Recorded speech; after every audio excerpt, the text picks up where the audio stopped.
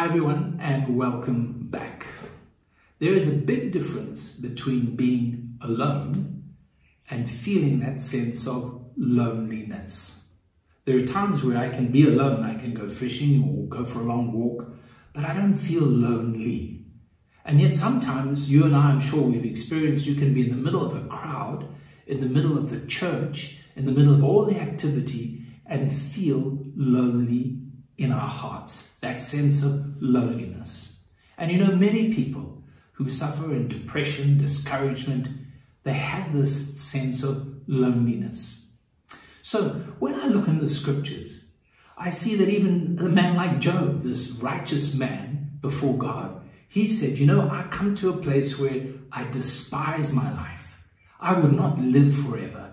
He says, Leave me alone. My days have no meaning. And that sums it up, what we can experience and what we sometimes feel. But you know, we need to know that God always has a plan for us. And it's the enemy who would like to separate us from God's plan, separate us from fellowship with people who understand the plan of God. And that's where the loneliness comes in. We need to be careful that we don't allow this separation to take root in our hearts. You know, Elijah went off into the desert. He had had this amazing experience on Mount Carmel. And now he finds himself in the desert and he is alone. And he says to God, I am the only one left. it was such a sad story. I am the only one left. But in fact, he was there because he had run away, not just from the king, not just from the king's wife, Jezebel, but he had run away from God's plan. See, Psalm 68 verse 6 says, God sets the lonely in families. He leads out the prisoners with singing, but the rebellious live in a sun-scorched land. So I want to suggest to you that when you have the sense of loneliness and separation, look for the rebellion in your heart.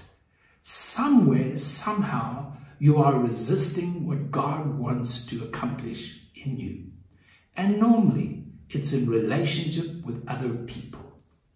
It's the separation that the enemy brings into our hearts. It starts maybe with a bit of bitterness, unforgiveness, or a bit of hurt. And now we allow this thing to draw us aside, to separate us. And we need to recognize that as children of God, we are created for relationship.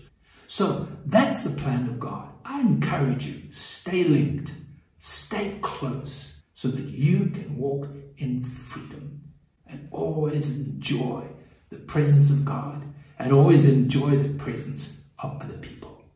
May the Lord bless you.